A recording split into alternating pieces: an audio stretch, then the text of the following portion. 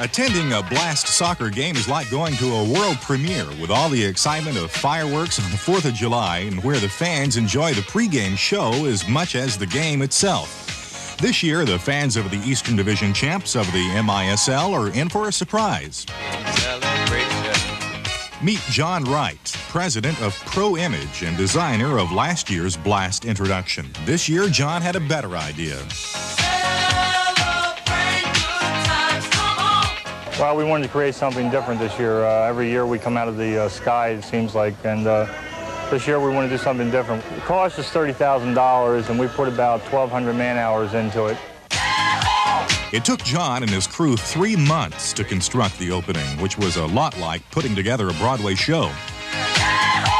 We have uh, flash pots, uh, dazzling lights, and uh, the only thing we don't have are showgirls. The crew checked for last-minute details, the stage was set, and then it was showtime. With the lights out, the, the thing actually looks like it's coming out of the floor. Ladies and gentlemen, your Eastern Division champion, Baltimore I asked several Blast fans how they liked the new introduction. I thought it was fantastic.